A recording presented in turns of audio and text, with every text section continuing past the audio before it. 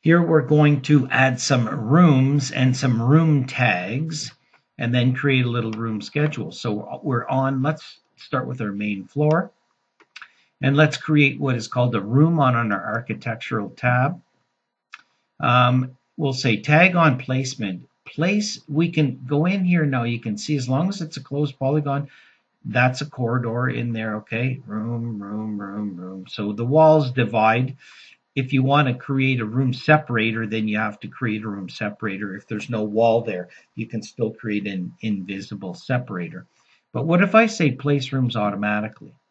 13 rooms created automatically, hit close, and we're done. Okay, go up to my second floor. Rooms, again, I can do them one at a time. I can highlight the boundaries. It's going to kind of tell me. Oh, doesn't like that roof. Um, but I am going to, sorry, back to room, place rooms automatically. 14 rooms created automatically, close. Now I need to go around and rename all these rooms. So we're going to go in here and, you know, we'll just call this. I'm just going to give them numbers. You can give them names as you please. So room number one, room number two, okay, uh, room number three. I'm going to go through this and then come back and uh, after all the rooms have been, in fact, the room number is there. I don't want to call it room by number. I'm just going to go in here and rename these office and we'll come back with all the rooms um, renamed on this floor and on the second floor as well. So hold uh, tight and I'll go through and rename all those rooms for us. All right, I've gone through the second floor and the main floor and renamed all the views. I've just given them random names, office, storage, bathroom. We're going to have to create these um, bathrooms um, a little bit later, but you know, I've just gone through meeting rooms, offices, fitness room, lounge, etc. You can name your rooms whatever you want. So we're going to create some bathrooms here and on the second floor. So um, I've gone through and I think I forgot, no, I got the corridor there. Yeah, now let's say I want this to be a separate room because it's not, I don't want it to be part of the corridor. I can go to architecture and I can create a room separator. Room separator I can put across here.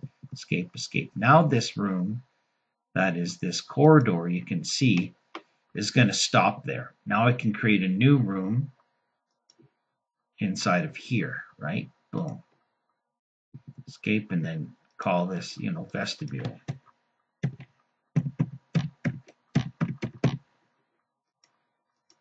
Look out, room number 28. And stairway also needs to have separate room. Let's create a room for it. Let's click on there so create similar. Oops, hit escape. I don't want it by wall center line. Core face exterior or interior will work. No, I want finish face. interior or exterior as my location line. Okay, and I should be paying attention from top of main up to top of second minus 250. So work my way around here. Okay, and I guess it, I will put a door in there. Mm-hmm. let's do a shift mouse and wheel this over and let's do shift nudge, align that over. TR for trim, trim these guys up, click on this door, create similar, put a door in there, escape, escape, grab this door tag, create similar, add a door tag in there, okay, create uh, a new room. Architecture, room, room in here and a new room over here. Now, I think I was going to make one of these a mechanical room, wasn't I?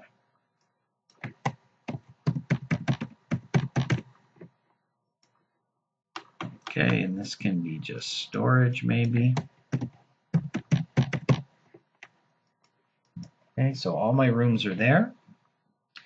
And my room tags for my second floor and my main floor. So let's create a little room schedule. Um, view, schedule, schedule quantities. Click in here, type in R, rooms, double click, creates a room schedule. What do I want to know? I want to know the area of the room. I want to know the level of the room. I want to know the room number and I want to know the room name. And I want the mark. Uh, no, room number is good. I'm going to move that up. So room number, then the name, then the area, then the level. Looks good. It's going to create a room schedule for me. Now, in that room schedule, I'm going to go into sorting and say sort by room number, ascending. And I'm also going to go in here and do the same thing with the filter. Filter by level equals top of main. So based on levels. Duplicate that schedule, room schedule, rename it, room schedule, uh, main floor.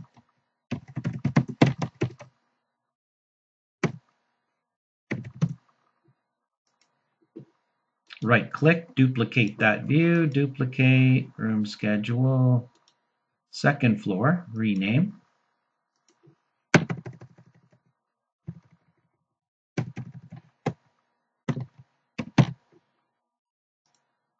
Hit OK, and in this schedule, I'm going to say filter by second floor. Let's go down to our sheets, main floor. Okay, room schedule main floor. Bring it in. Wherever I want to place that.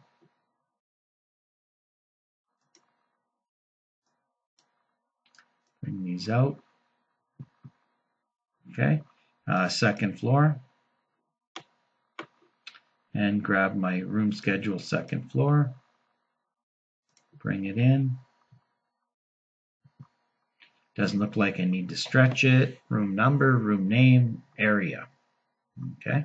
Now, if I want to total up my areas, what I can do is go into my room schedule, go to fields, and I can go to uh, sorting and gathering, and I'm going to say grand totals and uh, appearance or fields. No, where is it? Format. Um, area, calculate, good, show hidden.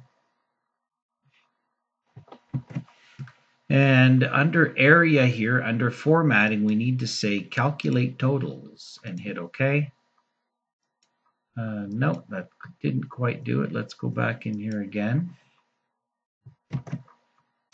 And what I need to do, I need to say calculate grand totals, but I also need to go into area and say calculate totals.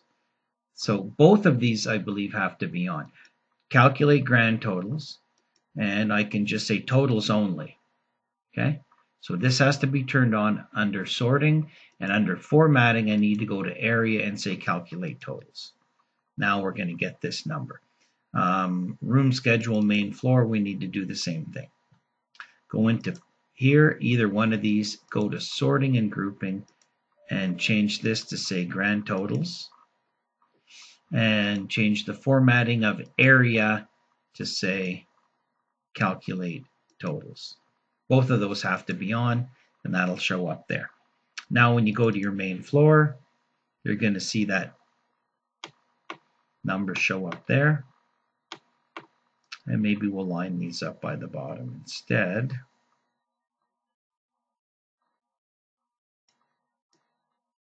Try to get some conformity going. Okay, so there's our rooms, room tags, room names, and room uh, schedules.